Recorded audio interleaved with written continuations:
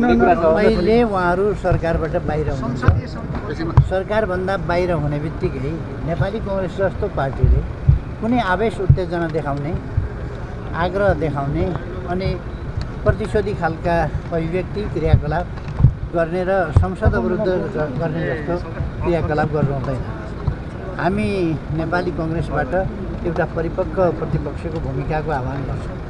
अब काङ्ग्रेसले संसदीय समिति माग गरिरहेको छ त्यो बन्छ त। कसरी कसरी के का लागि बन्ने त्यो सम्भवै छैन त्यो सम्भव छैन